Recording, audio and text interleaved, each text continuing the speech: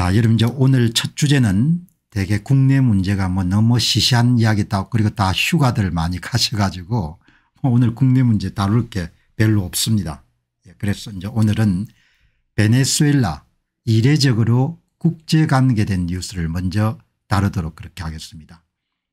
여러분 선거 공정성이 훼손되면 은 원위치 시키는 것이 아주 어렵습니다. 예. 의료 시스템이 붕괴가 되게 되면 은 그거를 원위치 시키는 것도 어마어마하게 여러분들 힘들지만 예. 선거가 무너지게 되면 은 그것을 여러분들 원상복구하는 것이 불가능하지 않지만 거의 불가능해지는 겁니다. 예. 그게 이제 베네수엘라가 생생하게 이렇게 보여주는 그런 사례인 거죠. 예. 그러니까 이게 무너지기 전에 잘 노력을 해서 이것을 막아야 되는데 이 베네수엘라 문제를 보게 되면은 그냥 여기 보시면 이제 지금 외신들이 다 집중적으로 다루더거든요. 예. 베네수엘라 현직 대통령 마두로 예.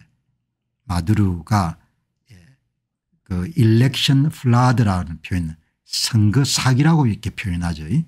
선거 사기 이후에 예, 뭐 여러 가지 이렇게 문제들이 많이 발생하고 있다. 예, 국제사회가 아무리 아우성을 치더라도 결국은 선거와 같은 그런 국내 문제는 그 사회 구성원들이 해결하지 못하면 해결이 안 되는 겁니다.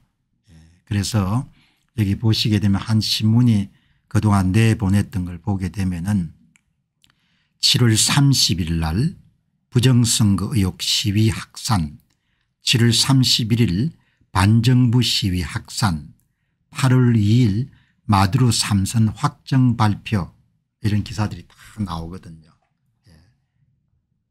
앞에서도 말씀드린 바와 같이 베네수엘라는 예. 전자 스크린 터치 방식의 선거를 합니다.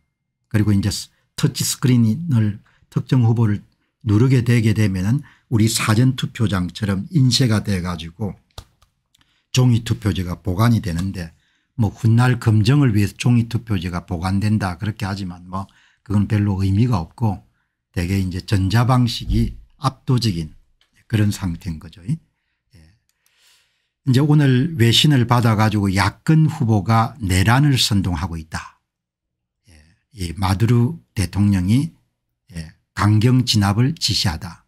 그러니까 권력을 기지게 되면은 경찰력하고 군 힘을 다 가지게 되기 때문에 국민들을 탄압할 수 있기 때문에 국민들이 꼼짝할 수가 없는 겁니다. 예. 일어설 수가 없는 거죠. 그 국민들이 그냥 가두리 양식장에 그냥 예, 갇혀버리는 겁니다.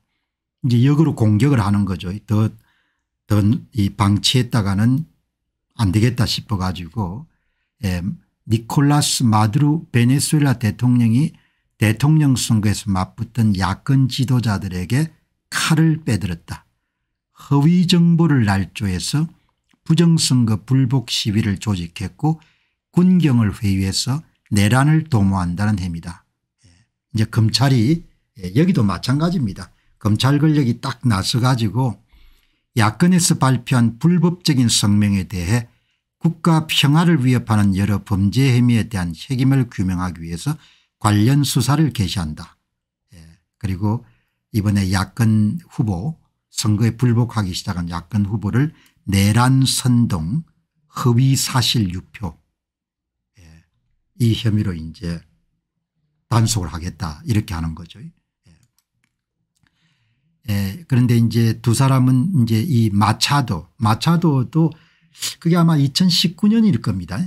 예, 그때도 뭐 거의 선거 부정 때문에 이 마차도 당시에 상원위원이 야권 후보로 나와 패배하지 않습니까 그리고 마음에 안 다니까 마차도의 공직선거권을 다 박탈해 가지고 이번에 못 나오게 된 거지 않습니까 마차도와 이번에 이제 후보인 곤, 곤살레스가 발표한 공동성명에서는 마두르는 자신의 패배를 인정하지 않고 진실을 숨기면서 시민을 상대로 잔인한 공세를 하고 있다. 예, 군경을 항해서 양심에 따라 여러분의 가족과 이웃이 모은 민의를 따라주기를 바란다. 예, 이제 7월 28일 이후에 베네수엘라 전역에서는 계속 지금 시위가 벌어지고 뭐 그렇게 하지만 예, 이게 극복하기가 힘듭니다. 딱 이렇게 되면은. 예. 그러니까 집권하고 있는 사람들이 모든 그런 예, 강제력을 다 지고 있기 때문에 경찰 동원할 수 있고 검찰 동원할 수 있고 선관위 동원할 수 있고 군 동원할 수 있고 언론 동원할 수 있고 본인 지지자들 동원할 수 있고 하기 때문에 일단 이렇게 선거 사기를 통해 가지고 국가가 전복되게 되면은 그 다음에는 못 찾는 겁니다. 어마어마한 피를 흘리기 전에는. 예. 그러니까 아마 한 한 달 정도 이렇게 소요를 할 겁니다. 예. 그러면 그 다음에는 다 진압될 거예요. 예. 꼼짝할 수가 없는 겁니다.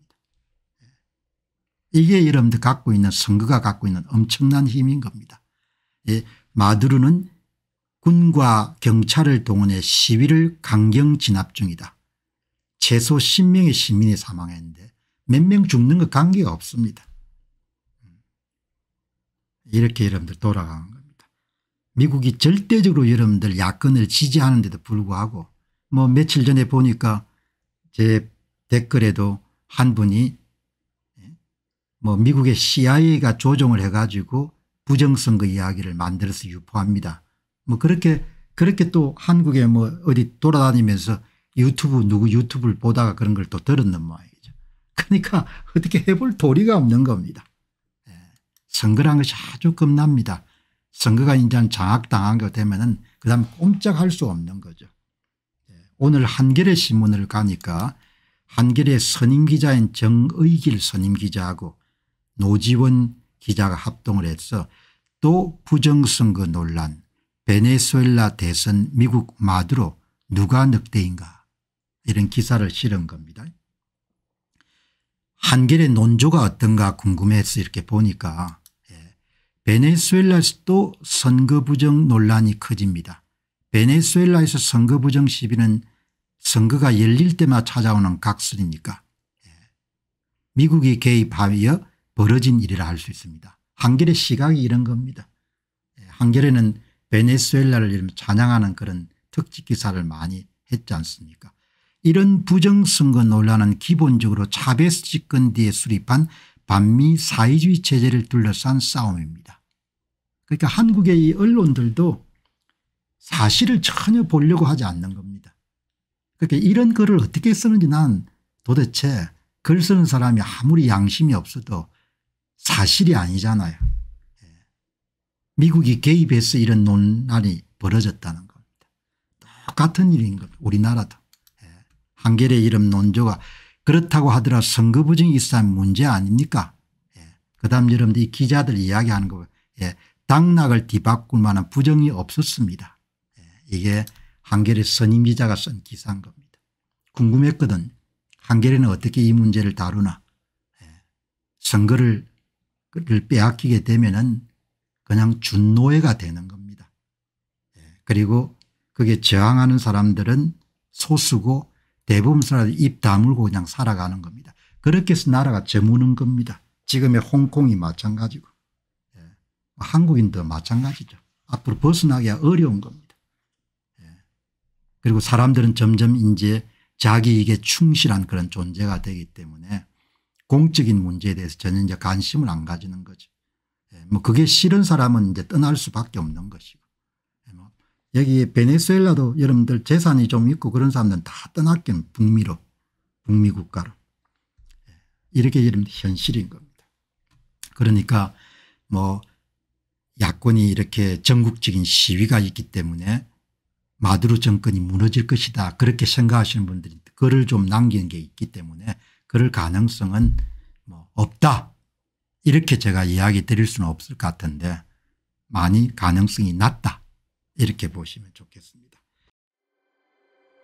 안녕하십니까 공병호입니다. 그동안 공병호 tv는 선거 공정성 회복과 자유민주주의 체제의 보존과 발전을 위해 노력해왔습니다.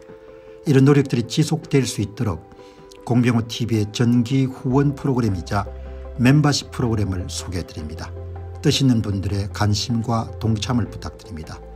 선거 공정성 회복을 위한 노력을 지지하시고 훌륭한 나라 만들기에 동참하시는 시청자분들이시라면 구독 버튼 바로 옆에 있는 가입 버튼을 통해서 정기 후원 프로그램에 가입할 수 있습니다.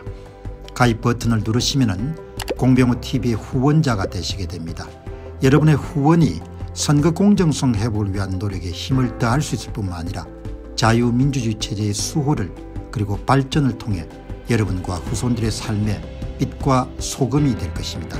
특히 그동안 공병호TV는 선거 공정성 회복을 위한 노력 과정에서 채널 성장에 제약이 가해지는 불이익을 감수해왔고 지금도 그런 불이익이 계속되고 있습니다. 그럼에도 불구하고 너무나 중대한 문제이기 때문에 공병호TV의 노력은 계속될 것입니다. 여러분의 깊은 관심을 부탁드립니다. 감사합니다.